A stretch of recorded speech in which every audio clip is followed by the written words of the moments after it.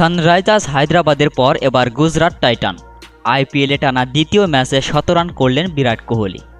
নিজেদের শেষ ম্যাচে গুজরাট টাইটানের বিরুদ্ধে কোহলি সেঞ্চুরি করলেন মাত্র ষাট বলে।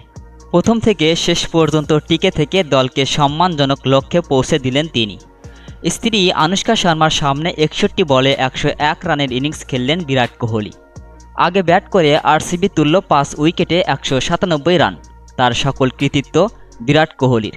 ব্যাটিং বিপর্যয়ের মধ্য দিয়ে এক পাশ আগলে রেখে যেভাবে ব্যাটিং করেছেন কোহলি, তাতে মুগ্ধ সবাই। তেরো চার এবং এক ছক্কায় একশো পঁয়ষট্টি স্ট্রাইক রেট নিয়ে কোহলি করেছেন একষট্টি বলে অপরাজিত একশো এক রান এবারের আইপিএলে কোহলির এটা দ্বিতীয় সেঞ্চুরি